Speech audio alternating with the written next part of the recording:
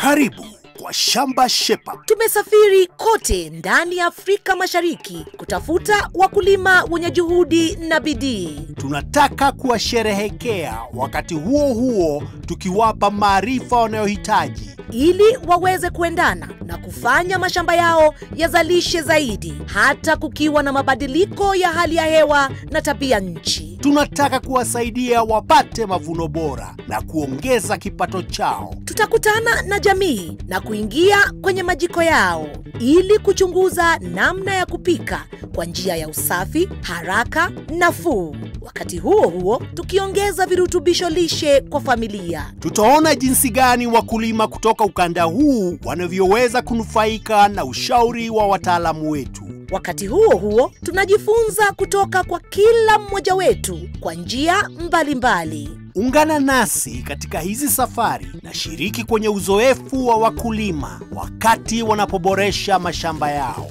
kwenye Shamba Shape Up Safari. Katika pitapita pita zetu hapa na pale, tukitembelea mashamba mengi kote Afrika Mashariki, kikundi cha Shamba Shape Up tumeshuhudia wakulima wengi wakikabiliana na changamoto za mabadiliko ya hali ya hewa au tabia nchi.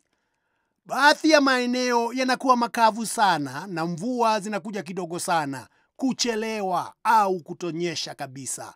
Tunaweza kufanya nini kuhusu hili? Wakati tulipotembelea mashamba, timu ya Shamba Shape Up imeona matatizo mengi wanayokumbana nayo wakulima. Tumepata mbinu nzuri nzuri kwa wakulima kutumia na kuwasaidia kuendana na mabadiliko ya hali ya hewa na ardhi inayowazunguka.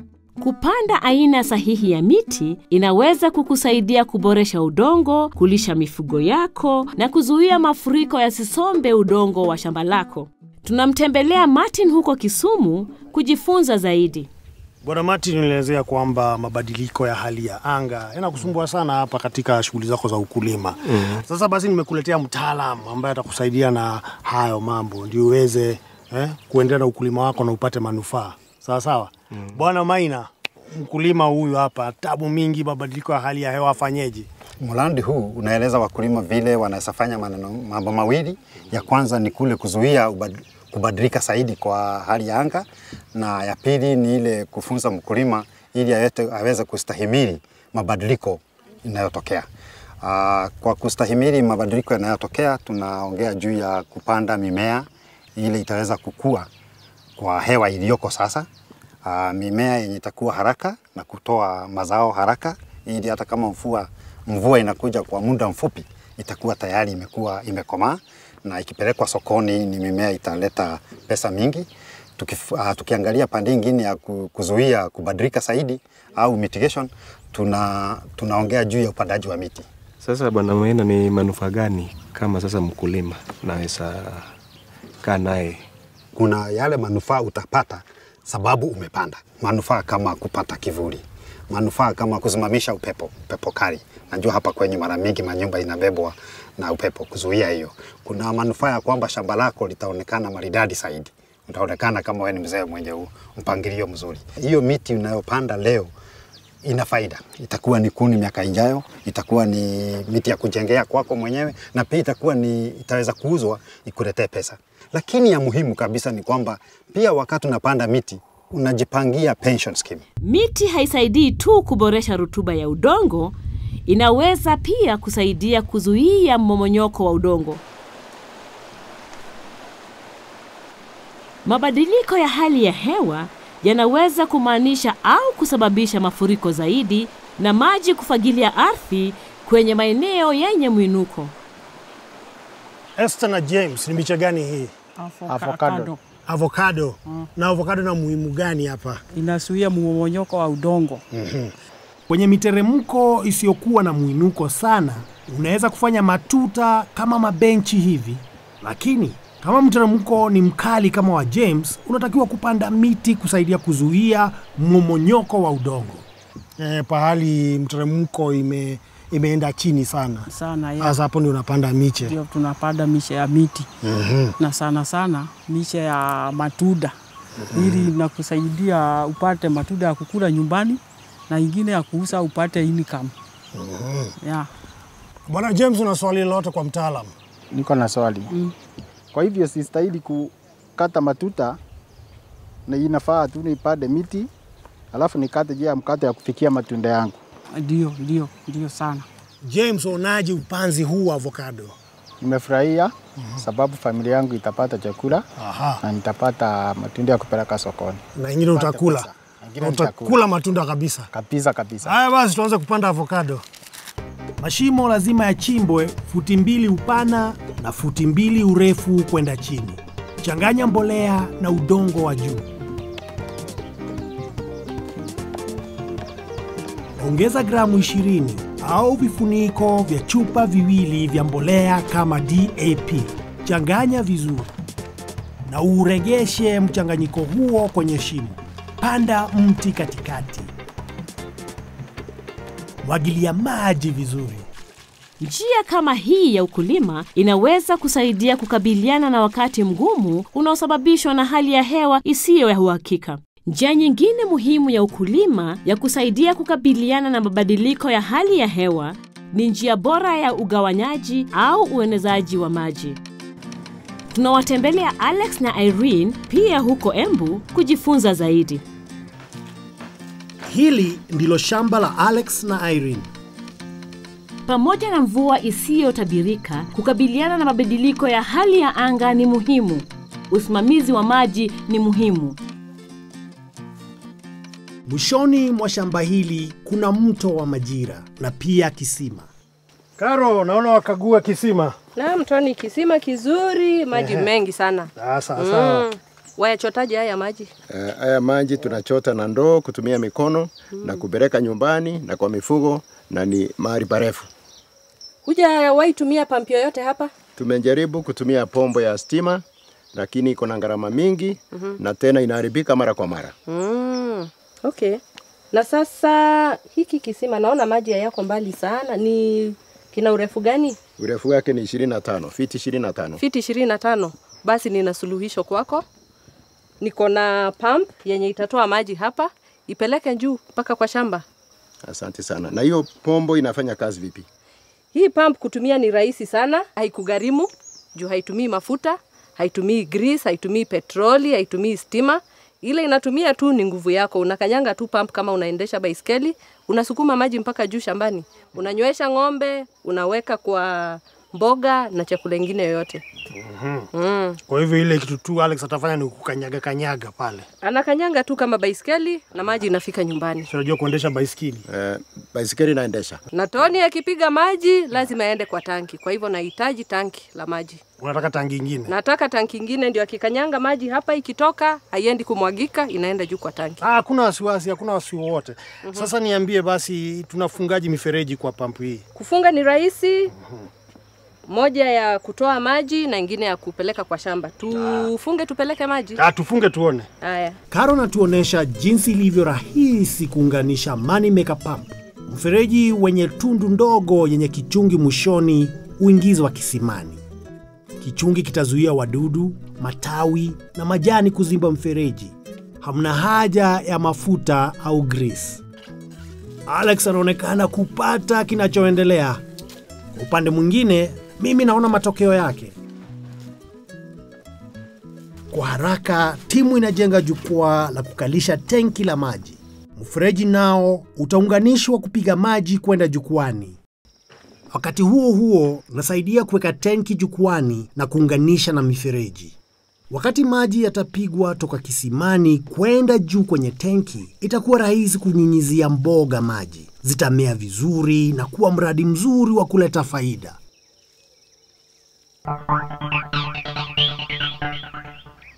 Kufuatia mabadiliko ya hali ya hewa, wakulima wanahitaji kuimarisha mashamba yao.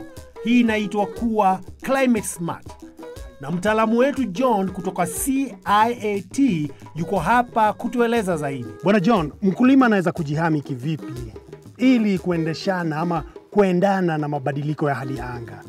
Kwanza ile tunahimiza wakulima wajaribu kutumia mbinu mzuri kama za kulima mapema, kupanda mimea ile inastahimili e, mvua kidogo. Pia tunahimiza kila mara wawe wanawacha kulima mapema, kupanda mimea, mazao, ile mabaki ya shamba kwa shamba, wazuie, waweke kama vituta ya kuzuia mmomonyoko wa udongo, ndio ili rasilimali tumeweka na mbolea tumeweka huko isiende na maji huko, itumike na, na mmea ile tumeweka tu kwa, mu, kwa, kwa shamba. Unalima kidogo, unabadilisha mmea tofauti tofauti, alafu unajaribu kuweka mbolea ya kutosha ili mmea iwe inaweza ika ikatupatia mazao mzuri. Mmea ikui hivyo vizuri hivi, utatumia mbolea gani? Mbolea ambao unaweza ukatumia kuongeza mazao, unatumia kama ile rasilimali tuko nazo nyumbani, kama samadi ya ng'ombe, kutumia kama mabaki ya shamba, watumie kama matawi kutoka kwa miti, compost, zile wako nazo, lakini wachanganye na ile mbolea kutoka madukani. Ili wapate mazao ya juu, lakini wanatunza mchanga yetu iwe kwa ile hali ya safi, ile itatupatia mazao kwa muda mrefu, kwa miaka zijayo. Kutengeneza mbonji ama mbolea asili kwa ajili ya shamba lako, kusanya samadi kila wiki, irundike kwenye sehemu yenye kivuli ili ioze. Geuza kila mwezi. Ongeza samadi mpya kwa upande wa pili, ili kama ukitaka kuitumia utaanza kwa upande wa kwanza kwa utaratibu.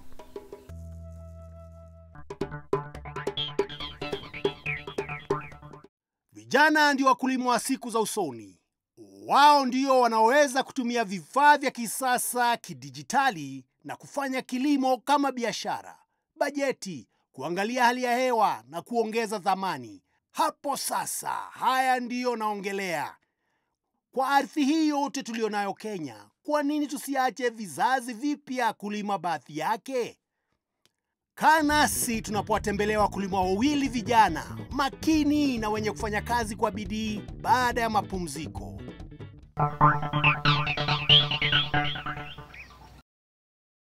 Thank you.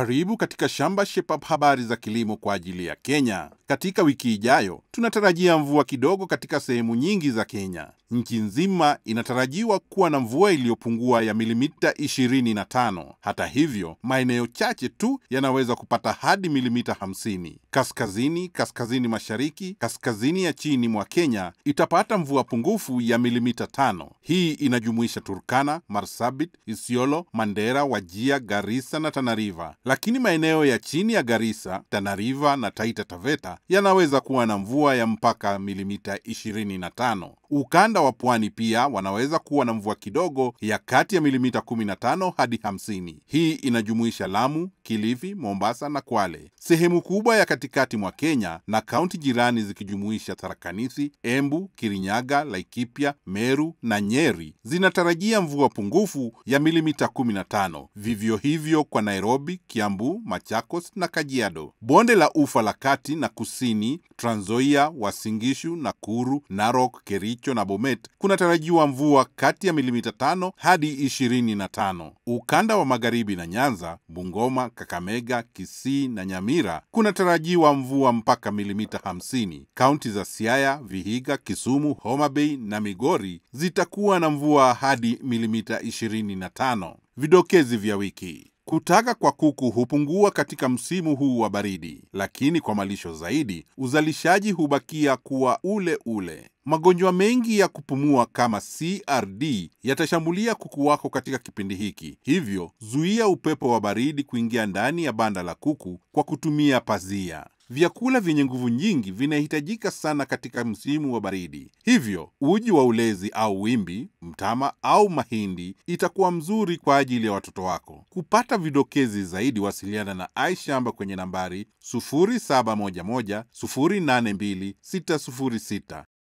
Tuonane wiki ijayo kwenye Shamba Shape Up, habari za kilimo. Vijana huona kazi ya kulima isiyo ya kupendeza. Kwao wakulima ni kama wale akina baba zao, akina mama zao na wakongwe huko shambani ambao wanafanya kazi ngumu na mapato machache. Hata hivyo, haya yote yanabadilika. Vijana sasa wameanza kukumbatia ukulima ili wapate ajira na pia kuimarisha maisha yao.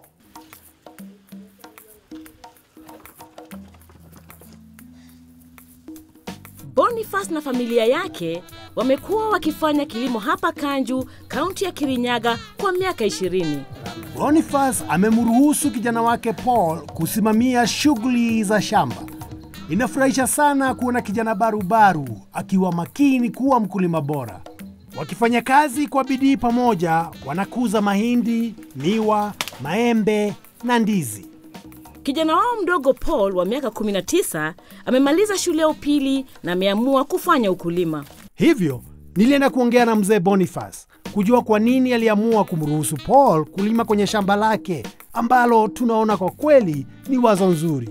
Mzee Boniface, siku hizi wazee wengi wanaona shida sana kupatia vijana wao shamba au kuwapatia mahali ambapo wanaweza endesha shughuli zao za ukulima, lakini naona wewe uko tofauti kidogo. Umepatia vijana wako pahali pa kulima na wanaendesha shughuli zao za ukulima. Kwa nini ukafanya hivyo? E, nafanya hivyo sababu wakati Paulo alikuwa shule anasoma anasoma, akimaliza anakaa hapa bila kuanziriwa. Sasa nikaona ni vizuri nimpe bahari ya kulima, na nikaona bidii yake, ah. anaweka bidii kabisa, Ana bidii kabisa. eh, -huh. na kile ametoa hapo, uh -huh. sile pesa amepata kidogo, uh -huh. akanisaidia uh -huh. akanipa, nikalipia mtoto sule Eh, eh, Kwa hivyo wewe ulianza kuona bidii yake kuanzia siku gani? kuanzia wakati alianza kulima Eh. kidogo uh -huh. nikaona huyu wasa nimpe chamba aendelee, na nikaona tena na kwa roho yake anampenda sana Anapenda ukulima. eh. Sasa wewe kama baba yake unamuonaje siku za hapo mbeleni, atakuwa mkulima wa namna gani? Huyo atakuwa mkulima mkulima tabibu kabisa Eh, eh. na unajua sasa na hata akikataa kuajiriwa Eh. niajiriwe mwenyewe kujitafutia kazi yake mwenyewe. e, mwenyewe Wewe pia unajua kwamba shamba lako liko katika mkono mwema. kabisa kabisa Ah, sasa asante sana. eh.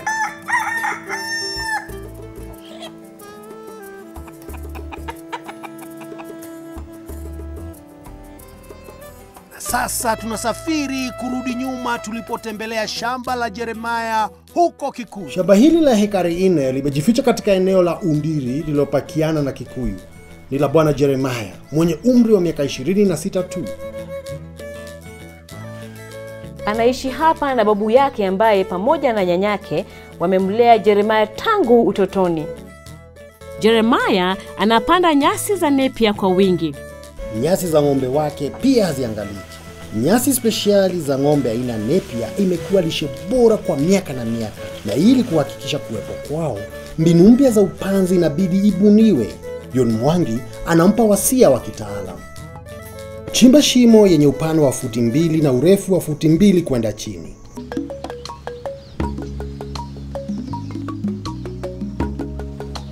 Huu wa kwanza ambao ni wa juu ndio utachanganya na ile mbolea kibaketi moja, alafu uchanganye na ile fertilizer ambayo ni ya DAP ama TSP. Uchanganye vizuri, uchanganye vizuri, uchanganye vizuri. Unahitaji kati ya vipande tano na kumi kwa kila shimo. Panda vipande vya nyasi ya Nepia inchi mbili, zitumbukie ardhini na inchi moja ichomoze juu. Nyasi hizi za nepia zinaweza kutumika kufanya lishe ya mifugo ya silage. Hii itakuhakikishia utakuwa na lishe ya mifugo yako wakati wa ukame, na ni njia muhimu ya kuendana na mabadiliko ya hali ya hewa. Irene alinielezea kuwa wao husumbuka sana wakati wa kiangazi kupata lishe ya ng'ombe, lakini suluhisho ni kutengeneza silage. Ni njia moja ya kuhifadhi lishe ya ng'ombe, haswa Napier grass, na kutumia kwa kipindi cha kiangazi. Inaweza kulisha ng'ombe wako na kuinua kiwango cha utoaji wa maziwa kwa mapato ya juu. Kwa hivyo John Kang'ara anatuonyesha jinsi ya kuhifadhi, sio ngumu. Chukua mfuko wa plastiki wa kuweka silage. Funga kabisa sehemu moja mfuko na kamba. Pindua mfuko wako ili ufungue sehemu nyingine. Kunja vizuri ili ufikie ndani vizuri. Kisha changanya kiwango kimoja cha molasses au sukari nguru na viwango vitatu vya maji vizuri. Ongeza nyasi zilizokatakatwa ndani ya mfuko. Nyunyizia molasses vizuri juu ya nyasi zilizokatakatwa, kisha zipakie vizuri, huku ukizikanyaga na kuvishindilia. Rudia hivi mpaka mfuko utakapojaa. Toa hewa yote mfukoni, kisha ufunge vizuri kwa kamba. Kama mfuko hauna hewa na umetunzwa vizuri, lishe linaweza likadumu kwa muda wa miaka miwili. Watoto ambao wanakula chakula vizuri wanakuwa na afya, wanakuwa na nguvu na pia wanaweza kusoma vizuri. Nimemwita Julia, mtaalamu wa lishe kutoka Real Impact, kuja kuangalia afya ya familia na kuona ni ushauri gani anaweza kutupa kuwasaidia kuboresha wanachokula. So Julia, tumetoka kutembea tukaona shambani vile kuko. Sasa ni maudha gani ningependa kupatia akina mama hao? Tulipotembea katika shamba ya mama Nyambura, nimeona kuna mandizi, muogo, lakini hiyo itoshi kupatia familia lishe bora. Ndio nimekuja na chakula mpya ama chakula kigeni, ndio tuongezee kwa hiyo anacho kwa shamba. Hapa nimekuja na viazi vitamu. Viazi hivi vitamu vina karolini mingi, zina karolini ni kama karoti na zina vitamini ambayo inasaidia kama ni upande wa macho kama watoto wanavyokuwa. Kwa hivyo na hiyo muogo haina. Ukija upande mwingine, nina beetroot hapa ambayo itasaidia kama mgonjwa wa moyo, blood pressure na kuongezea damu kwa mwili. Na ukija hapa kama kwangu kwa meza, utaona niko na mboga tofauti. Nina sukuma wiki, nina spinach, nina managu kama hii sana. Kwanza tunahitaji sana, inaongeza damu kwa mwili, na hata ukija kwa spinach, ukija kwa sukuma, nayo iko na vitamini tofauti na hiyo. Ndio ukipanda mimea tofauti, una uhakika utapata malezi bora, sababu kila mmea ina madini tofauti na ile ingine. Na wakati wa uzeeni, ujue wakati unakuja, watu wanasahau. Sasa hiyo kusahau, ukila beetroot kama hii, ukila kama ni mbichi ijapikwa, hiyo kusahau inakuwa haiko. Ubongo wako unakuwa huko gagari kila wakati.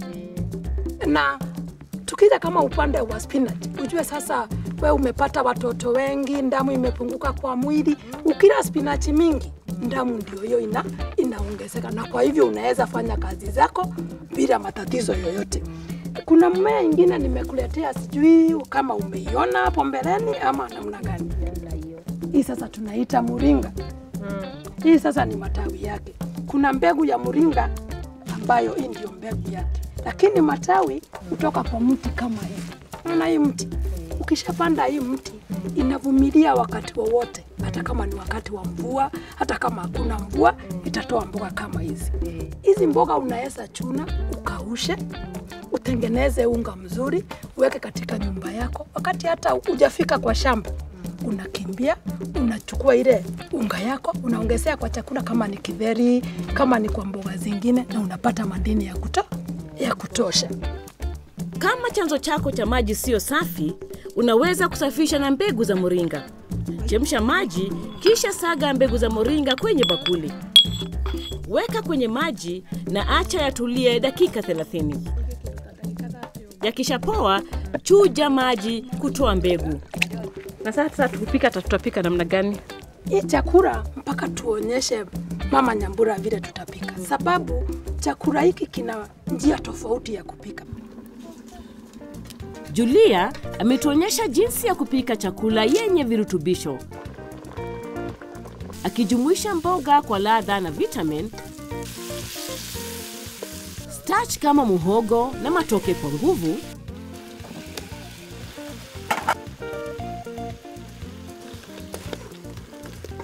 na mwishowe mboga halisi ya rangi ya kuongeza kama carrot na beetroot kwa madini na vitamins.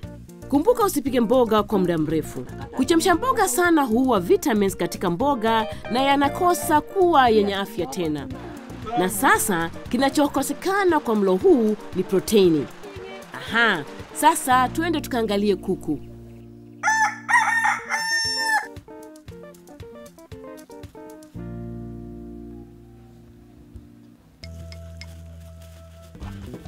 Kutokana na mawaidha yenye nimepitia kutoka, na, kutoka kwa wataalamu wote, naona miaka tano ijayo naweza kuwa mkulima hodari, mkulima mwenye atakuwa na mavuno mingi na atakuwa ana, ana transport haya mavuno uh, kwa kaunti yote. Tunatumaini yote haya yamekuwa ya manufaa. Jiunge nasi wiki ijayo tunapoboresha mashamba mengine hapa hapa katika Shamba Shepa.